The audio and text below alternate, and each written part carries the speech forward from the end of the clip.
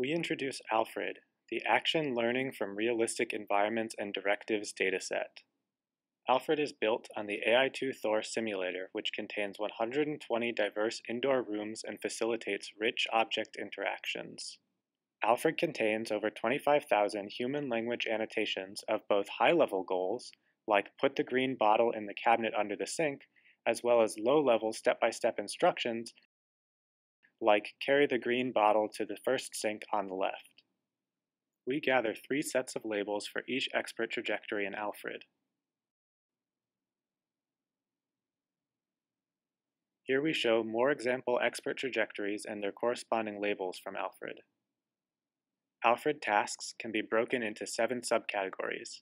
Pick in place, pick two in place, stack in place, clean in place, heat in place, cool in place, and examine in light. This is an example clean in place task. Alfred contains significantly more labeled examples than existing datasets. Additionally, Alfred's natural language instructions and the expert trajectories are both much longer than comparable datasets. Alfred also enables much richer interactions with the environment than prior works by using AI2